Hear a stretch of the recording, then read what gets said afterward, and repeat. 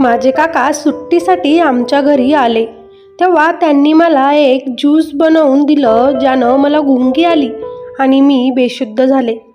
जाग आली तर अंगावर एकही कपडा नव्हता. म्हणजे त्यांनी माझी इज्जत लुटली होती. मी रडतच त्यांना ज्या विचारत होते तितक्यात आई आली.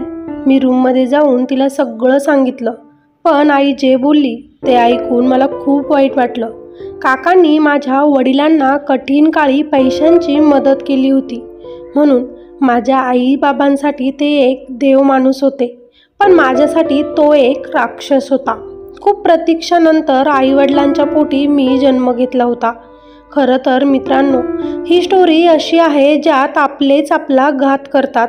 मदतीच्या नावाने आपल्यासोबत वाईट कृत्य करतात आणि आपल्याला आपलेच ते आहेत म्हणून आपल्या घरच्यांपासून ते सगळं काही लपवून ठेवावं लागतं. हेच सगळं माझ्यासोबत झालं आहे. जे आज मी तुम्हाला शेअर करणार आहे सगळं ही एक सत्य घटना आहे जी माझ्यासोबत घडलेली आहे. गावाकडे आमची जमीन होती पण आम्ही सगळेच बाबांची नोकरी शहरात असल्यामुळे शहरातच भाड्याने घर घेऊन राहत होतो. आई मी आणि बाबा असे आम्ही तिघच होतो. माझ्या बाबांना मुलाची खूप हौस होती. पण आईच्या पोटी फक्त मी जन्म घेतला. तोही मुलगी म्हणून. आणि परत आईला प्रेग्नेन्सी ही कधी थांबलीच नाही. म्हणून आईबाबांना मीच एकटी मुलगी होते. मी शाळेत खूप हुशार होते. नेहमी एक नंबर असायचा. आणि खूप ट्रॉफी बक्षीस मला मिळत असे. जे मी घरी घेऊन येत असे. माझी आई खूप खुश होत असे. पण माझे वडील मात्र नेहमी नाराजच असायचे. इतकं शिकून तुला काय करायचं आहे? शेवटी भांडे तर घासायचे आहे. हे त्यांचं वाक्य नेहमीच असायचं. मला फार वाईट वाटायचं. जेव्हा बाबा मला असं बोलायचे. पण त्यांच्या मनात कुठेतरी माझ्याबद्दल काळजीही तितकीच होती. त्यांना वाटायचं जर ही मुलगा असती तर आमच्यासोबत राहिली तरी असती. पण मुलगी असल्यामुळे तिचंही लग्न होणार. आणि आम्हाला सोडून ती चालली जाणार. म्हणून कुठेतरी त्यांना थोडंसं वेगळं व्हायचं. आणि म्हणून ते नेहमीच मला असे अपमानकारक बोलायचे ज्यानं माझं मन तुटायचं. एकदा आमच्या घरावर एक मोठं दुःख कोसळलं. माझ्या बाबांची नोकरी गेली. म्हणून आमच्या गावाकडील काकांनी माझ्या बाबांना मदत केली आणि माझ्या बाबांनी एक नवीन बिझनेस शहरातच सुरू केला. देवाच्या कृपाने तो बिझनेस खूप मोठा झाला. आणि माझ्या बाबांचं खूप छान प्रोग्रेस इकडे शहरात व्हायला लागलं. पण माझे बाबा त्यांच्या भावाला म्हणजेच माझ्या काकांना कधीच विसरले नाही. कारण त्यांनी आम्हाला कठीण काळात मदत केली होती. आईबाबांच्या तोंडात मी सारखं माझ्या त्या काकांचं नाव ऐकायचे. कारण आई बोलायची की शेवटी रक्ताचीच माणसं कामं येतात. तुझे काका खूप चांगले आहेत. देव म्हणून आपल्याला धावून आलेत. म्हणून माझ्याही मनात काकांबद्दल खूप आदर होता. मलाही त्यांच्याबद्दल खूप मनात प्रेम होतं की यांच्याचमुळे आज माझे बाबा इतके खुश आहेत. म्हणून मीही काकांबद्दल नेहमीच आपुलकीने आईला विचारायची आणि काकाही अधूनमधून आमच्या घरी येत असायचे.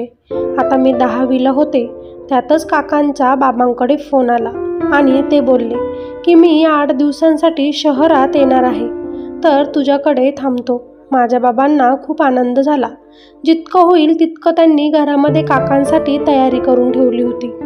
आई ही खुश होती आणि मलाही तिनं सांगितलं की आज तुझे काका येणार आहे तर तू लवकरच येशील.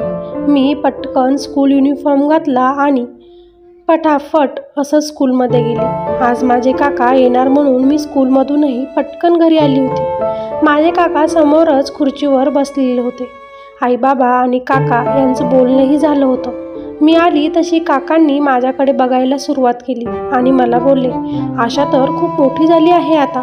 असं म्हणत त्यांनी वरून खाली मला बघायला सुरुवात केली.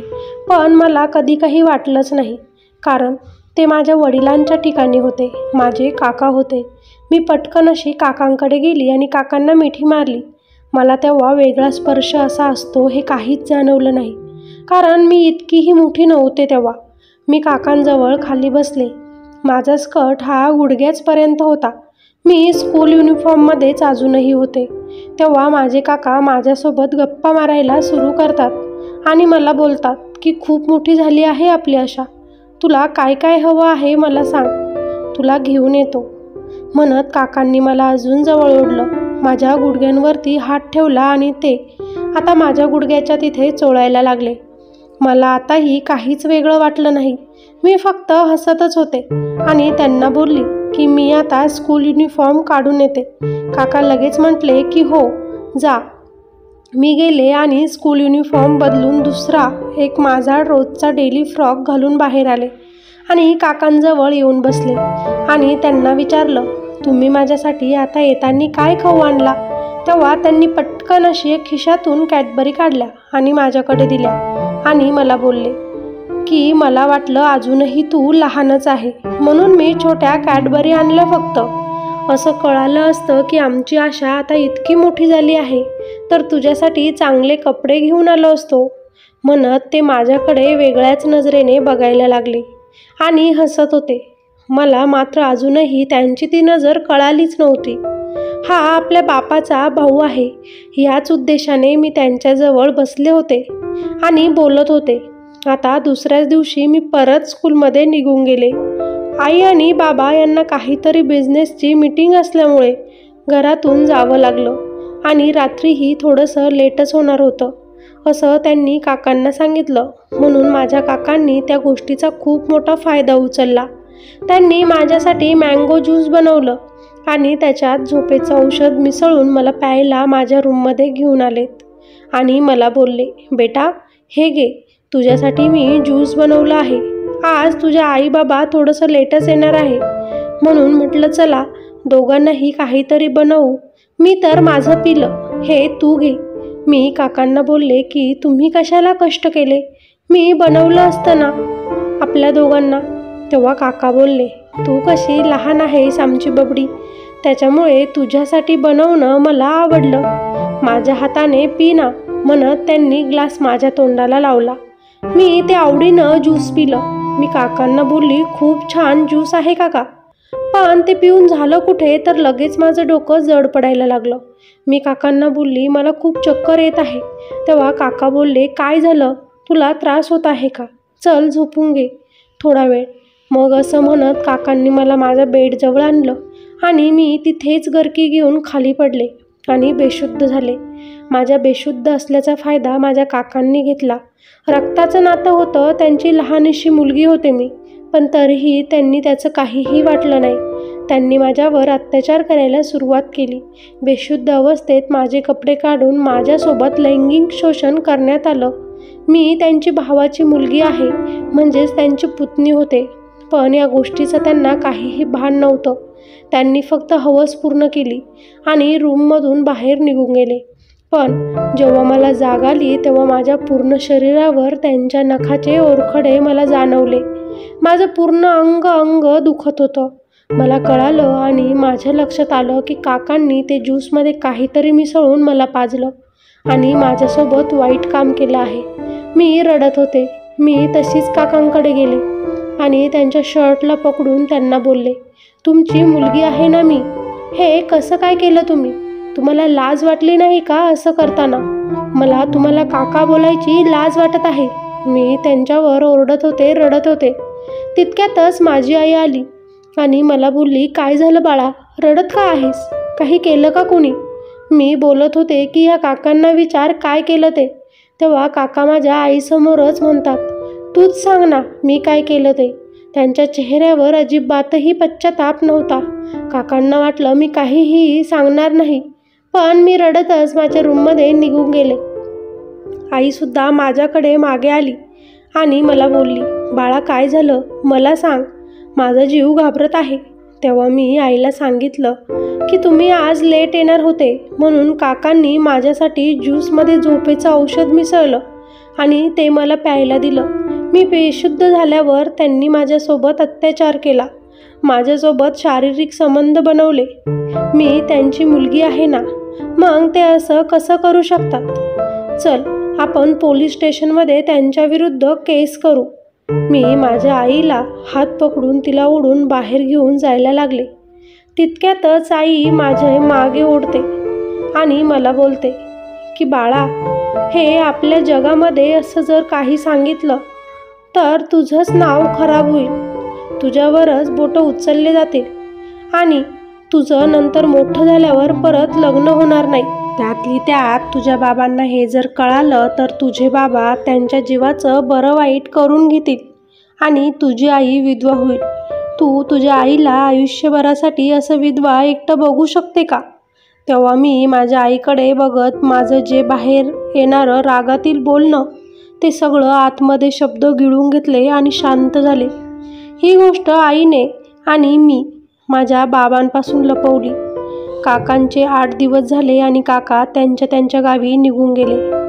काही वर्षांमध्ये माझ्या आईलाही काहीतरी त्रास झाला आणि आजारपणातच तीही देवाघरी निघून गेली. मीही मोठी झाले होते. जॉब करू लागले होते. बाबांनी माझ्यासाठी चांगला इंजिनियर मुलगा शोधला आणि माझं लग्न त्याच्यासोबत करून दिलं. पण अजूनही माझ्या मनात त्या काकांबद्दल खूप राग होता. कारण मी आईच्या सांगण्यावरून बाबांपासून ही मोठी गोष्ट लपवून ठेवली होती. पण मनातली मनात मी स्वतःला आजही तितकंच टोकत होते आणि खात होते. असेच काही दिवस झाले लग्नाला. आणि मी आणि माझा नवरा आम्ही माझ्या पप्पांना भेटण्यासाठी घरी आलो. माझ्या दुर्दैवाने तिथे ते काकाही आलेले होते. सगळ्या आठवणी ताज्यात झाल्या. मला त्यांचा खूप राग आला. पाहता क्षणी माझ्या नवऱ्यासोबत आणि माझ्यासोबत माझ्या नवऱ्याची बहीणही आली होती. तिचं नाव पूजा होतं. म्हणजेच माझी ननंद आलेली होती आमच्यासोबत. तीही माझ्याच वयाची होती. जेव्हा मी दहावीला होते तेव्हासारखं. पूजा ही दहावीलाच होती. आता आणि तिचाही तेच वय होतं जे हसण्याचं बागडण्याचं असतं. आणि त्याच पूजाला माझे काका हवसभरे नजरेने बघत होते. मला ती त्यांची नजर कळाली. हे तिला असं का बघत आहेत म्हणून मी तिचा हात पकडला आणि तिला मध्ये रूममध्ये घेऊन आले. माझे काका बहाणे बहाणे ना तिच्याकडे यायचे आणि तिला बोलायचे की तुला काय खायचं आहे? तुला काय काय आवडतं? आणि तिच्याशी खूप गप्पा गोष्टीही मारायला लागले. पूजालाही काकांचा स्वभाव आवडत होता पण मला मात्र ते अजिबातही आवडत नव्हतं. मी माझ्या नवऱ्याला सांगितलं की पूजाला त्यांच्यापासून दूर राहायला लावा. पण तो बोलला की काय हरकत आहे? तिच्या आजोबांच्या वयाचे आहेत ते. मी येत असेल तिला प्रेम तर मिळू दे ना. तिला पण मी काय सांगू माझ्या नवऱ्याला की हे प्रेम वगैरे काही नाही. वेगळ्याच प्रकारचं प्रेम आहे ते. पूजासाठी घातक ठरू शकतं ते. मी बोलू शकत नव्हते. एक दिवस पूजा सकाळी व्यायाम करत असताना टेरेसवर होती. काकाही वरती गेले आणि तिथली मदत करू लागले. मी तुला काही योगासने शिकवतो जे मला माहिती आहे म्हणत ते तिच्या अंगाला इकडे तिकडे हात लावत होता. मला मात्र ते कळालं म्हणून मी लगेचच तिथे गेले आणि तिला बोलले की तू इथे काय करत आहेस? जा खाली. तीही माझ्यावर चिडली आणि मला बोलली वहिनी तुला सहन होत नाही का? मी तुझ्या काकांजवळ इथे बोलत बसते तर?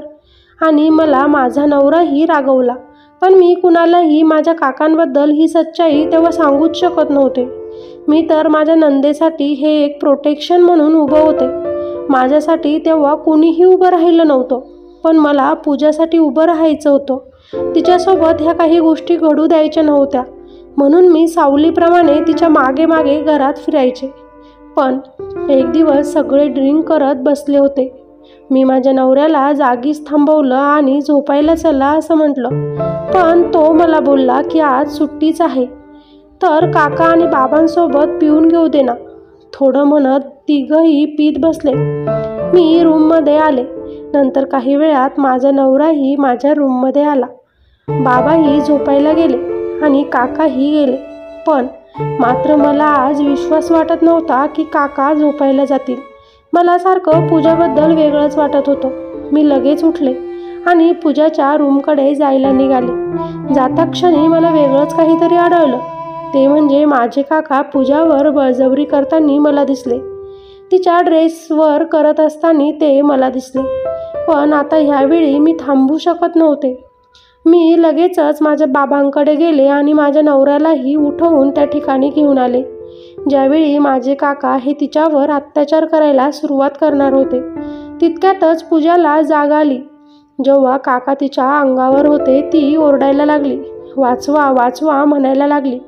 तेव्हा कुठे काका तिला बोलतात हे बघ तुझ्या वहिनीसोबत सुद्धा आहे ना मी हे तुझ्याच वयात असताना केलेलं आहे. ती अजूनही गप्प आहे आणि तुलाही इथून पुढे असंच गप्प राहायचं आहे. मी तुला खूप खुश ठेवतो असं म्हणत ते तिच्या मानेवर आपलं डोकं ठेवत ती त्यांना आपल्यापासून दूर ढकलण्याचा प्रयत्न करत होती. पण काका ऐकायला तयारच नव्हते.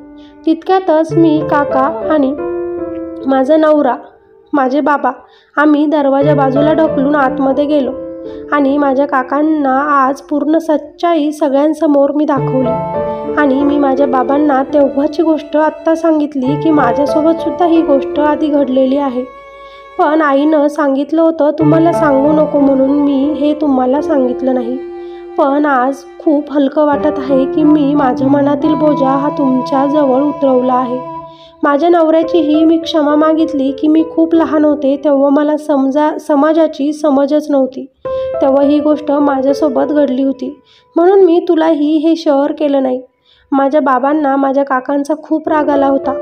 मी लगेचच पोलिसांना फोन केला आणि पोलीस आलेत आणि काकांना त्यांनी अटक करून जेलमध्ये घेऊन गेलेत. आता माझे बाबा मला लगेचच बोलले हे बघ बाळा तू तेव्हाचा आवाज उठायला हवा होता.